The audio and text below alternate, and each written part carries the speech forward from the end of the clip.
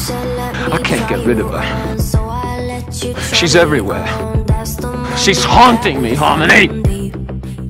But her great love is wild and dangerous. It burns and consumes. Until there's nothing left. Love like that doesn't last.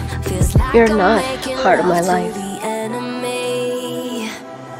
Oh God, please no.